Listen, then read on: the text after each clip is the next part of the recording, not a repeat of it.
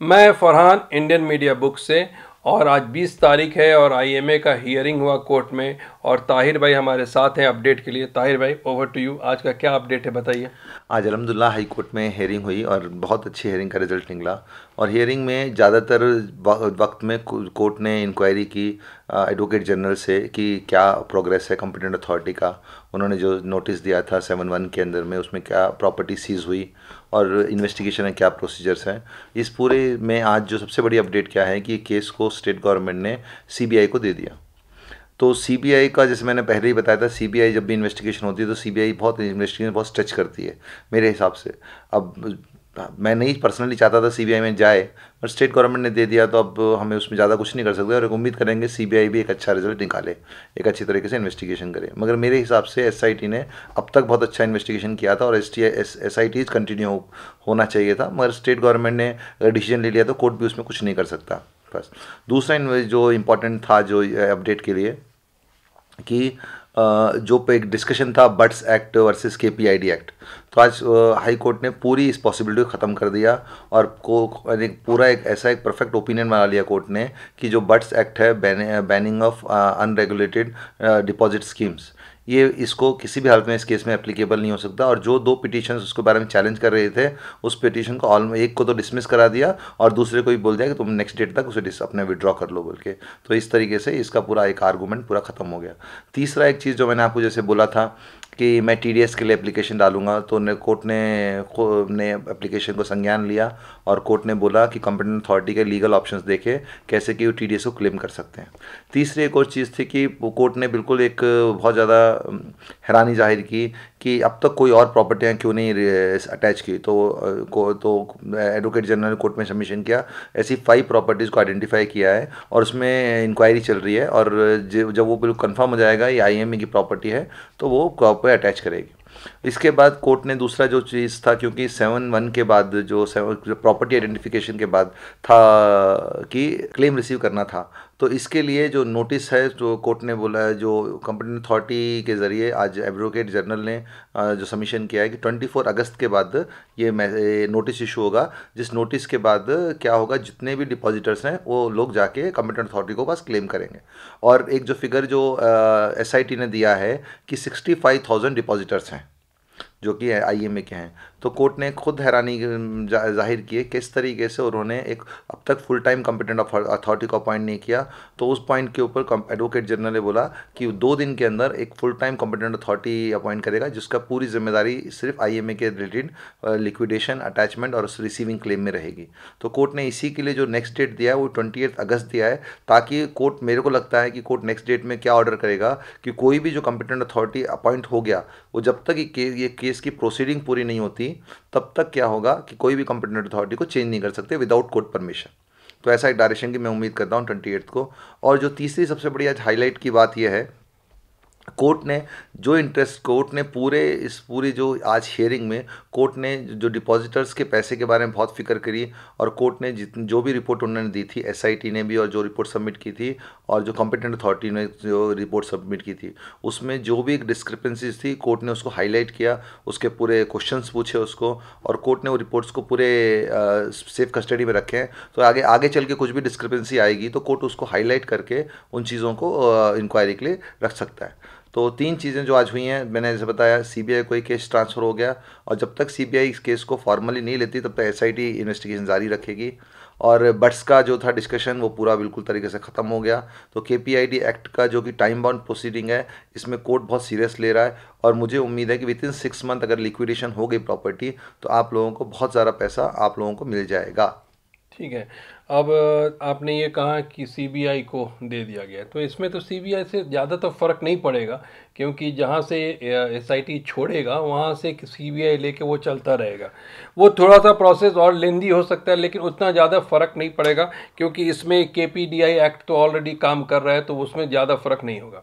अब रहा कि आपने कहा कि बर्ड्स का ही तो ये अब पूरी तरह से इस पे लागू नहीं होगा इस केस ये बिल्कुल डिस्कशन खत्म हो गया एक्चुअली देखिए बट्स जो है उसका मीन मतलब क्या है? Banning of unregulated deposit schemes मतलब जो कोई डिपॉजिट की स्कीम चल रही होगी उसको रेगुले उसको बैनिंग करने के लिए वो एक्ट है वो। हम्म। उसको रेगुलेट करने के लिए वो एक्ट है।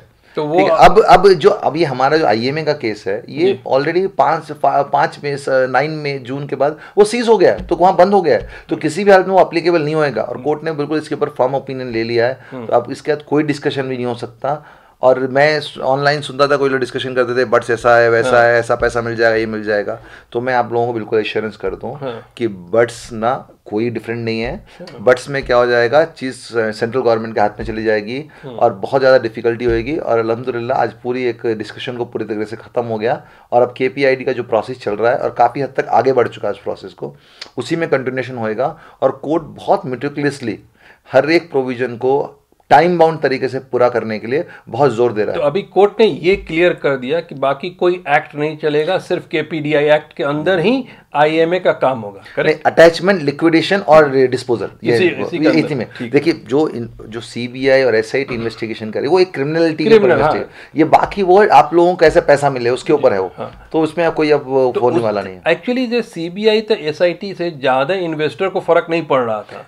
क्योंकि नहीं नहीं वो सी वो इन्वेस्टिगेशन का है। मगर क्या होता है बेसिकली मैं बता रहा हूँ सीबीआई को ना एक जैसे भी हमने देखा सीबीआई को लोग पॉलिटिकली बहुत यूज़ करते हम्म, हैं सीबीआई एक बहुत अच्छी एजेंसी है जो कि बहुत अच्छा कर सकती है मगर उसको पॉलिटिकल मिसयूज का बहुत होता हम्म, है तो मैं उम्मीद करता हूँ इस केस में ऐसा नहीं होगा जो रियल कल्पिट है सामने आएँगे। हम्म। मगर जो मेरा एक्सपीरियंस है सीबीआई साहब बहुत खराब है। इवन कोर्ट्स ने बहुत बार उसको रिसेंटली हमारे चीफ जस्टिस ऑफ़ इंडिया ने भी ये इस चीज़ को ऑब्ज़र्व किया है। जब सीबीआई जिस केस में पॉलिटिकल कलर नहीं रहता उसमें अच्छा काम करती है। जिसमें पॉलिटिकल इंटरेस्ट रहता उसमें अजीब तरीके से काम करती है। तो और एक चीज़ और आपने कहा कि एसआईटी ने अभी जो खुलासा आज कोर्ट में किया है कि 65,000 इन्वेस्टर हैं तो आज इन्होंने क्लियर कट बता दिया कि टोटल नंबर है 65,000 सिक्सटी फाइव थाउज़ेंड ठीक है तो चलिए एक क्लियरिटी आज मिली।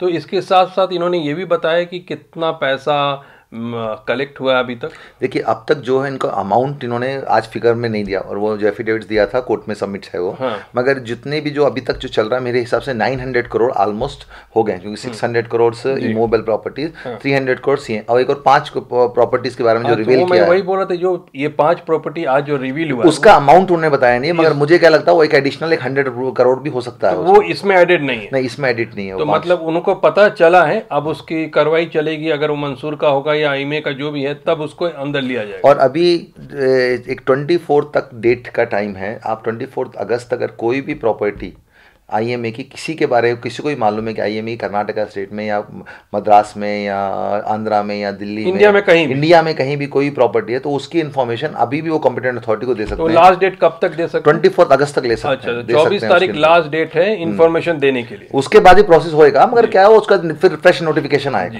तो अभी का लास्ट डेट जो है इन्फॉर्मेशन देने का चौबीस चौबीस अगस्त अगस्त तक ठीक है। अब नेक्स्ट जो कार्रवाई है वो सत्ताईस को या अट्ठाईस को है? नहीं जो अब जो कोर्ट की डेट है अट्ठाईस तारीख को हाँ। अब मगर जो ट्वेंटी फोर्थ के बाद एक पब्लिक नोटिस इशू करेगी कंपिटेंट अथॉरिटी वो कंपिटेंट वो नोटिस हम लोग को बहुत ध्यान से रखना है हम्म। क्योंकि उस पब्लिक नोटिस में स्पेसिफिकली कंपिटेंट अथॉरिटी पूछेगी किस किस का क्लेम है। उसके ऊपर यानी डिपॉजिटर्स का। तो वो रियाद से आप लोग डिपॉजिटर्स लोग वो पैसे आपने जाके अपना पूरा क्लेम हम्म। पूरा जाके कंपिटेंट अथॉरिटी को आप सबमिट करना। और ये डॉक्यूमेंट के लिए कोई जो एसी फॉर्म पेसी फॉर्म कोई ऑर्गेनाइजेशन एडवोकेट ये बोल रहे हैं इनके पीछे कुछ नहीं पड़ना ऐसा कोई फॉर्म नहीं है। और आपको जो भी इंफॉर्मेशन देना है सिर्फ़ कंपिटेंट अथॉरिटी को देना है और किसी को कोई इन्फॉर्मेशन भी देना नहीं है और कुछ भी करना नहीं है। और ना ही मेरे पास आना है ना ही आईएमबी को फ़ोन करके पूछना। हाँ, किसी को पूछने की ज़रूरत नहीं है गवर्नमेंट काम अपना कर रही है। जी जी अब रहा कि ये तो प्रोसेस चल रहा है। अगर किसी को अगर लॉयर की या किसी जानकार की ज़रूरत है तो मैं मेरे को लगता है कि उसको दो केस में ज़रूरत है। एक तो है कि उसकी ज्वेलरी अगर डिपॉजिट है उसके लिए किसी का हेल्प लेना पड़ेगा। जी जी। ठीक है ना? और दूसरा कि अगर गवर्नमेंट से पैसा लेना चाहते हैं तो उसको अलग से फाइट करना चाहते हैं तो उसके लिए लॉयर की ज़रूरत है। लेकिन ये नॉर्मल प्रोसेस के लिए किसी की ज़रूरत नहीं। किसी की ज़रूरत नहीं है और बहुत सारे एजेंट लोग भी इस दौरान बहुत आएँगे जी। कि हम तुम्हें आपको पा- हमें पाँच परसेंट कमीशन दो दस परसेंट कमीशन हम पैसा दिला देंगे। ऐसे किसी के और मैं पे, तुम्हारा पेपर ऊपर रख दूँगा और मैं तुम्हारा पेपर नीचे रख दूँगा ये सबसे बचना और, है। और एक खास बात है इसमें कि कोर्ट ने क्या बोला सीबीआई भी अगर इन्वेस्टिगेशन करेगी तब भी कोर्ट का मॉनिटरिंग रहेगी उसमें। तो आप लोग बिल्कुल रेस्ट रहिए कोई भी इसमें आगे पीछे माल प्रैक्टिस नहीं होगी कोई भी रॉन्ग डूइंग नहीं होगी और कभी भी किसी को लगे कोई रॉन्ग डूइंग हो रहा हो रहा है या कोई भी गलत काम चल रहा है तो आप डायरेक्ट कोर्ट चीफ जस्टिस को डायरेक्ट आप कॉन्टैक्ट कर सकते हैं रजिस्ट्रार के थ्रू आप उसको इन्फॉर्म कर सकते हैं। कर सकते हैं। तो बहुत बहुत शुक्रिया ताहिर भाई आज का अपडेट देने के लिए। Thank you so much thank you